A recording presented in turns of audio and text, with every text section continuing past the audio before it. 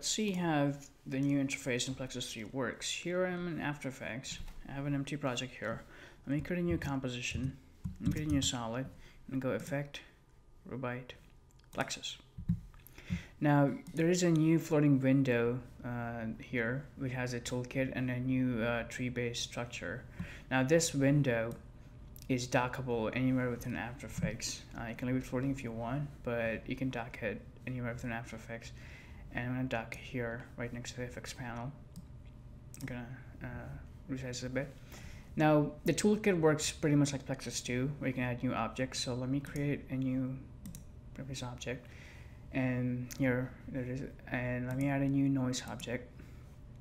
Now, in Plexus 2, uh, all the effects were stacked. Uh, in, and even in Plexus 3, they're still stacked. But now you can, if you want to go to an object, you can directly select that object here in the tree. And only that object is shown in the FX control panel.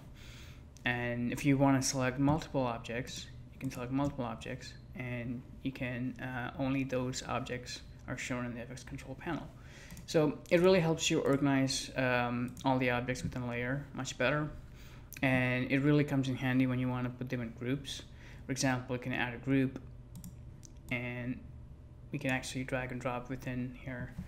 And let me select 3 3 and move to group 1. And instantly all the groups uh, within the objects are changed. No need to change them individually and if you want to rename them for example you want to rename it to grid you can do directly uh, within the object panel. If you want to rename it to just noise or you can have multiple points so points. And if you want to have another points renderer and you can just put them in that group and call it points too. Or if you want to remove them you can select uh, you can select that uh, object directly uh, within the panel and press delete and that'll be removed. Now the Plexus FX still has to be at the bottom of the FX stack here. Uh, when you select other objects, the Plexus is still at the bottom uh, because that's what necessary to render here. Just keep that in mind. And yeah, this is how the new object panel works. Uh, it really helps you to organize uh, all the Plexus objects within a layer much better and really improves the workflow.